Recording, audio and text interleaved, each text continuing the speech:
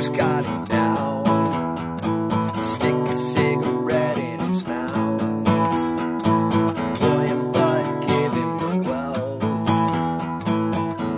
We can push him down a steep hill, get some good speed, really crash him out. But I wouldn't mind, but can't fuck him up enough that he can't deal. Seems he's really.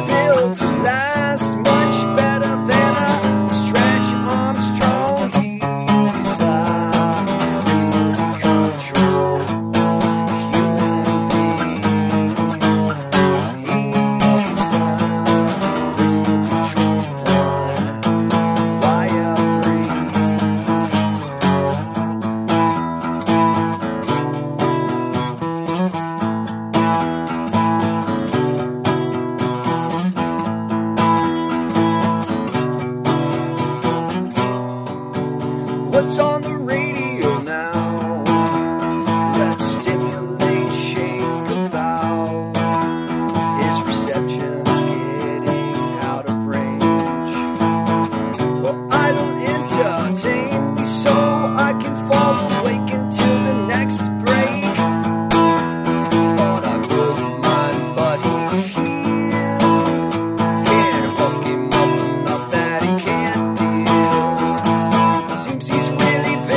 last much